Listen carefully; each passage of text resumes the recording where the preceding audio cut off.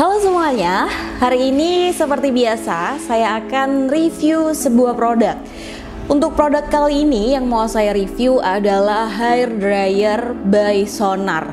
Jadi seperti yang teman-teman lihat di depan saya sekarang udah ada 6 tipe hair dryer yang berbeda.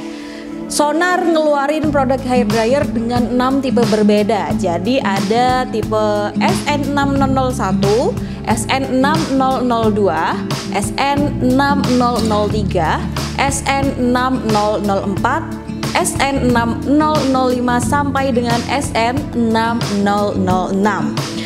Nah, sekarang saya mau kasih informasi nih dari kesemua tipe yang Sonar punya untuk hair dryernya perbedaan dari semuanya ini apa? Mungkin buat teman-teman yang mau beli hair dryer bingung nih aku mau tipe yang berapa ya? Gitu ya. Karena bedanya apa sih dari tipe SN6001 sampai dengan SN6006 bedanya di mana dan apa fungsinya tetap masih sama?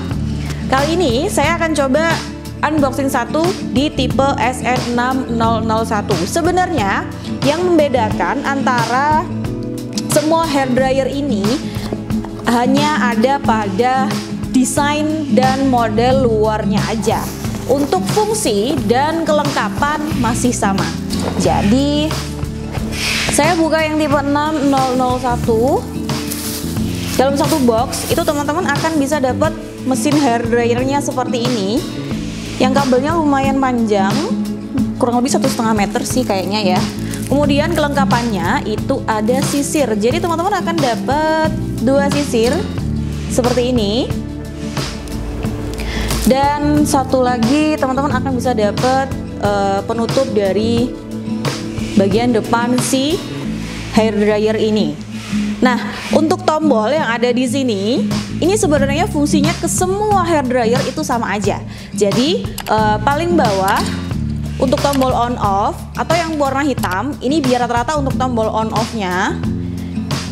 Dan yang warna merah ini adalah uh, indikator pengatur uh, tingkat panas atau tidaknya. Jadi teman-teman biasanya kalau pakai hair dryer kan tombolnya cuma satu nih kalau hair dryer biasa. Tapi kalau ini teman-teman bisa atur untuk uh, tingkat panasnya seberapa. Bisa nol untuk mati, satu untuk yang kecepatan kencang, di indikator warna hitam dan satu untuk panas yang sedang jadi nggak panas banget tapi kalau teman yang warna merah ini teman-teman ubah ke indikator nomor 2 ini panas banget dan uh, kita tidak pernah menyarankan untuk pakai hair dryer yang panas banget ya karena bisa ngerusak rambut Sebenarnya untuk semua fungsinya sama dan juga secara spesifikasi mereka punya kesamaan. Jadi nggak ada beda. Yang ngebedain mereka hanyalah pada desain di luarnya aja.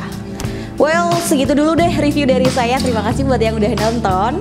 Jangan lupa tonton video saya yang lain. Bye.